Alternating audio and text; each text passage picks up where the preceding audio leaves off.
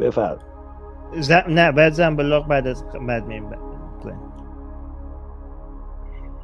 من می‌خواستم در مورد بحث مقاومت بگم که آیگلن گفتن که ببخشید خب اگر حکومت اومد مجاهدین به دست گرفت و اومدن گفتن نه خانم ها باید هجاب داشته باشن. خب همین موضوع زمان انقلاب هم انجام شد. خب خمینی اومده بود گفت که حجاب نباید اجباری باشه. بعد اومدن اجباری کردن خانم ها اومدن تو خیابون و خب زدن همه رو غلقم کردن. اینجوری هم نیست که بگیم که خب اگر مردم شما نمی‌تونید با مثلا آمریکا مقایسه بکنی که ترامپ که اومد رئیس جمهور شد خانم ها اومدن تظاهرات کردن علیه یه سری مسائل زن ستیزی. خب شما تو ایران همچین چیزی نمی‌تونیم ما داشته باشیم. بیان تظاهرات بکنن می‌زنن همه رو می‌کشن. به این شکل هم نیست که بگیم که مقاومت می‌تونه همیشه جلوی دیکتاتوری بیسته من فکر می‌کنم که در مورد این موضوع ما نمی‌تونیم هیچ گونه نظری بدیم که اگر مثلا اینها بیان بخوان دیکتاتوری بکنن مردم اگه مقاومت بکنن دیکتاتوری نمیشه. آخه جامعه ما خیلی متفاوته با جامعه غرب. این یکی از موضوعاتی که بود که می‌خواستم که بقیه موضوعات متاسفانه فراموش کردم. شما صحبت طولانی شد. ببخشید. یه مشکلی که یه چیزی من فقط کوچیک بگم. شما من فکر کنم آقای گلن دارن میگن که چون که جمهوری اسلامی یه کاری کرده ما نمی‌تونیم بگیم خب پس مجاهدین خلق هم این کارو می‌کنن. خب یعنی ما میایم مثلا می‌ذاریم میگه خب آ خمینی هم این قولا رو داد بعد که اومد گفتش که بعد همه چی عوض شد. بعضی میگن که پس حتما مجاهدین خلق این کارو می‌کنه. این روش استدلال به نظر من غلطه برای اینکه خب ما چون یه گروه این کار کرد معنیش این نیست که حتما تو آینده این گروه هم این اتفاق میفته. ولی روشی که من میگم بعد استفاده بکنیم اینه که چون ما اطمینان هر کسی می‌تونه بیاد حرف بزنه هر کسی می‌تونه هر قولی دلش بخواد بگه خب؟ برای همین ما نمی‌تونیم بیان بگیم که ما مطمئنیم شما این قولا رو انجام نمیدیم. ما میگیم برای اینکه اطمینان داشته باشیم شما یکی نه اطمینان نه. برای اینکه بتونیم احتمال بیشتری بدیم که شما کسایی هستین که قوانین دموکراسی قانون آزادی بیان قوانین سکولاریزم رو رعایت می‌کنیم ما کسایی رو می‌خوایم بیاریم رو کار که یک تاریخ دفاع از نقد پذیری از آزادی بیان از مبارزه برای سکولاریزم دارن برای اینکه این تجربهشون و این تاریخ فعالیت و این کاراشون نشون میده که اینا اصلا توی ذاتشون هست که برای یک سری عقایدی بجنگن برای همچین کارهایی دارن میجنگن. یعنی فقط قول نیست خب؟ یعنی احتمال اونم 100 درصد نمیشه. ولی خب احتمالش بیشتر میشه که همچین کسایی که همیشه مثلا داشتن برای سکولاریسم و برای آزادی بیان میجنگیدن اینا رو بذاریم روی کار. برای این اصول رو رعایت کردن و برای این اصول رو تو حکومت آوردن احتمالش بیشتره. خب ما ما نمیگیم که مثلا مجاهدین خلق آره حتما این کارا رو انجام نمیده یا حتما این کار انجام میده. ولی اینا بر اساس بر اساس برداشتی که ما داریم از روش های مدیریت خودشون کسایی هستن که نقد پذیر نیستن یک کسایی هستن که به نظر می‌رسه روی کسایی که کارکنان خودشون هستن یک کدای لباس اسلامی کلا به زور هست یعنی یعنی درست حالش می‌تونیم مثال بزنیم فلانی فلان جا بوده که حجاب نداشته خب؟ ولی اینا به ببین مثال مرکل زدین تو آلمان خب؟ من فکر کنم مثلا ایشون تو مثلا تو حزبی بوده که هر کسی هر خانومی که بیاد, بیاد کار بکنه باید مثلا به انجیل قسم بخوره یا یه صلیبی بزنه نمی‌دونم بوده یا نبوده خب؟ ولی من فکر نکنم بوده یعنی دلیلی یعنی اینکه مثلا بیان بگه که شما یه قوانین مسیحی رو باید رعایت بکنین که بتونید و برای ما یه سیمبولای مسیحی داشته باشین که برای ما بتونین کار کنین. اگه این هست خب من این اونم نقد این هست. ولی خب ما فقط می‌تونیم قضاوت بکنیم که شما چه اصولی رو براش دفاع می‌کردین و ما از این به طور احتمالی. میگیم که خب پس شما کسایی نیستین که ما بتونیم اعتماد بکنیم که برای این اصول بجنگید. شما هر کسی می‌تونه هر قولی بده. ما باید بیشتر از قول احتیاج داریم به اینکه ببینیم کی بیاد سر کار.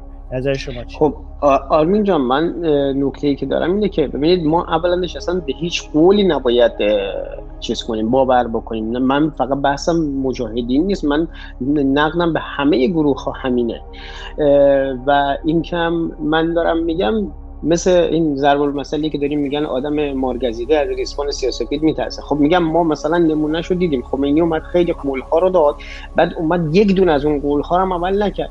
برای همین وقتی هر گروه دیگه ای بخواد بیاد نه فقط مجاهدین هر گروه دیگه هم بخواد بیاد ما نباید به قولاش خیلی اطمینان بکنیم. این یک نکته. نکته دوم خب در مورد مجاهدین خلق ما صحبت می‌کنیم. اینها خیلی از سیمبل هایی که دارن اینها همه اسلامیه.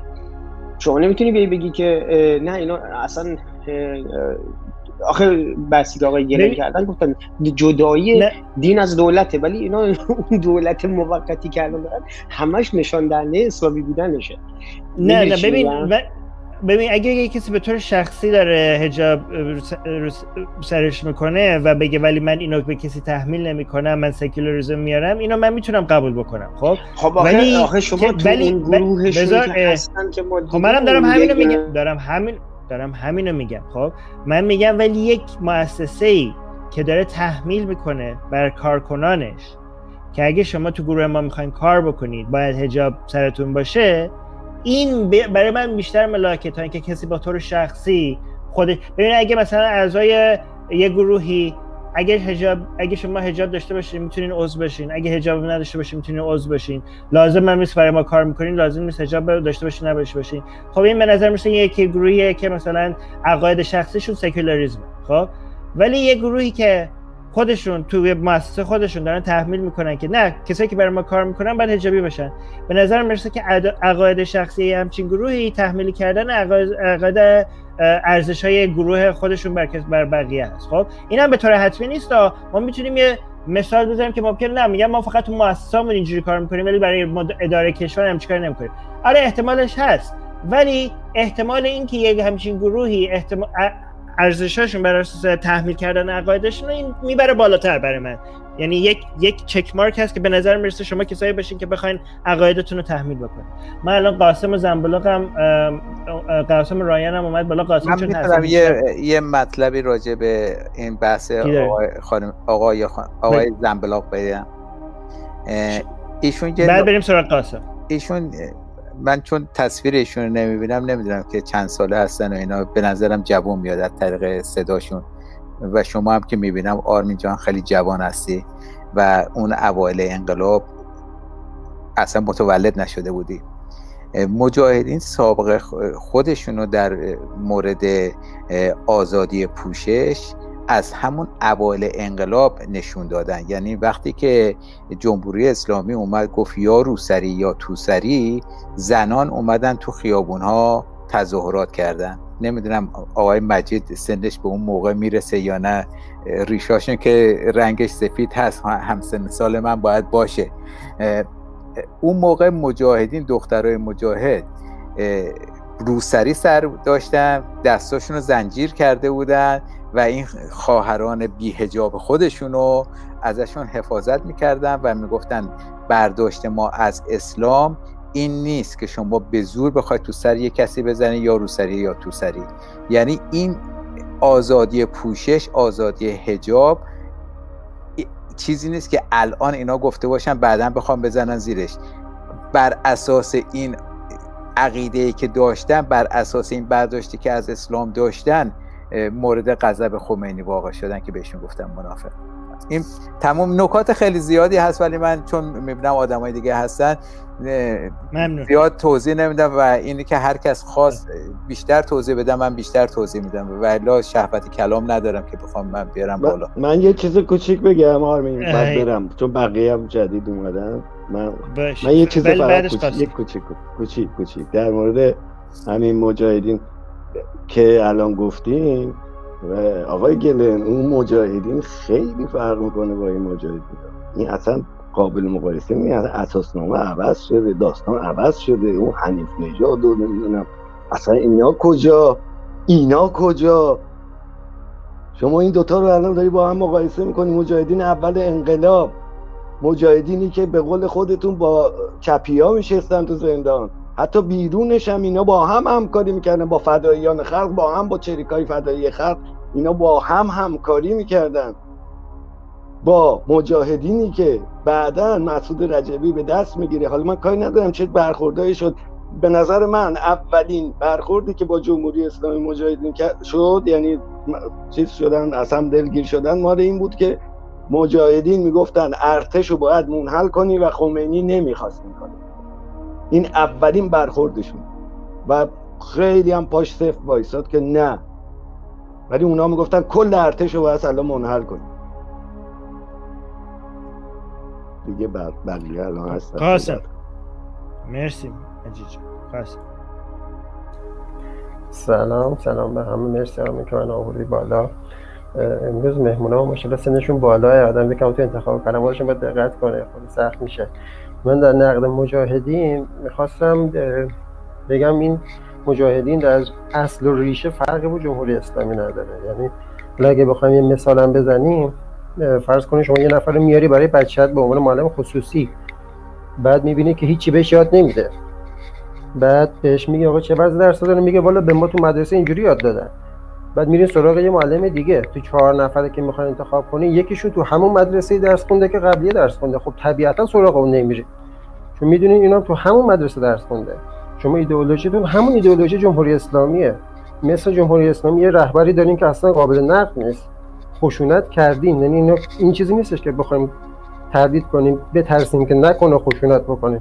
نه شما خشونت کردین و در موردش هم توضیح ندادیم یعنی قبلش باید حتما یه دادگاهی باشه یه حکمی صادر بشه که مردم بدون بعد یه زمانتی باید باشه یه زمانتی باید باشه که دیگه اون اشتباهات گذشته رو تکرار نمی‌کنه. اینا هیچ کدوم یعنی اگه بخوایم به قول آرمین اینداکتیو نگاه کنیم تمام این پیشفرض ها بر علیه مجاهدینه. یعنی اگه هیچ گزینه دیگه هم نبود باز هم مردم حق داشتن که تردید کنن برن سراغ مجاهد. چه برسه که گزینه های دیگه هم هست الان. چه ضرورتی هست که اصلا ریسک کنیم روی مجاهدین. ما فقط می‌خوایم جمهوری اسلامی بره و یک چیز بهتر بیاد. نه اینکه یه چیزی مثل خودش و بدتر از خودش بیاد. من تمام. من یه چیز کوچیکی هم بگم. شما نگاه کنین من که همین رضا پهلوی هم میاد مثلا روی مثلا مناظره می‌کنه خبرنگار میاد مثلا ازش سوال می‌کنه سوال نقد ازش می‌کنن. بعد خود جواب میده اختلاف نظرها رو مثلا نشون میدن. مثلا خودشون اختلاف نظرها رو با خودشون مثلا میاد مثلا هایلایت می‌کنن. مثلا می‌خوام مثلا مثال بزنیم. مثلا شما هم چیزی تا از از, از مریم دیدین که بیاد مثلا به یه نفر بیاد مثلا بگی که نقد ازش بکنه بعد مریم بخواد بیاد جواب بده. خب اصلا اینا گروهی هستن که اینا رو بیان highlight الان بچه‌ها دارن صحبت می‌کنن شما Google search کنید مصاحبه های مریم رجوی صد در میاد با همه مصاحبه کرده. منتهای مراتب مص... شما مصاحبه نه مناظره مصاحبه خودشون. اونا مصاحبه خودشونه مناظره نبوده. کسی اینا رو خب، نقد ما داریم شما به گوگل معلوم Google search کنیم داریم مناظره های شاهزاده رضا پهلوی در میاد.